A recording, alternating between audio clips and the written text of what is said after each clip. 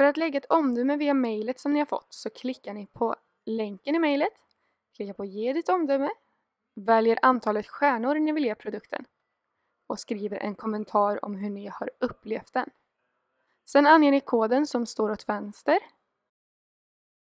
och sen klickar ni på spara och ert omdöme kommer att synas inom kort. Finns det redan omdömen på produkten så är det ett klick extra. Tack för att ni har handlat hos oss och för att ni tycker till om våra produkter.